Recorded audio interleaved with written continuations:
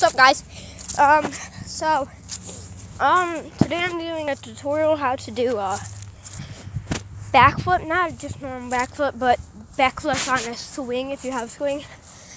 Because, obviously I can't do a real backflip. So, let me set you up right here. Alright. Is that a good angle? Yes. So first you gotta, um, uh, so if you have strings, ropes, metal bars, whatever you have for these things that pull up this wing, so you need to get a little bit high, like as high as your arms can reach.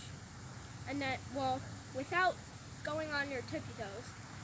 And then, so first, you just have to like get a really good grip on it, and then jump up like that, okay? Like where where you can actually like hold yourself like this, okay? And then you want to start like turning over like this, like this, okay? And so you just have to keep on doing that. And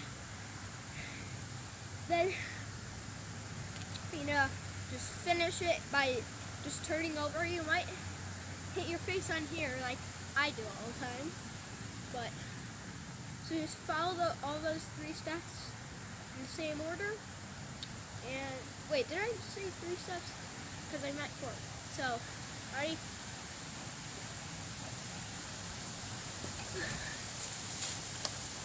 you might land like this where you can't go, and sometimes you might lean like this, and you'll get your face under.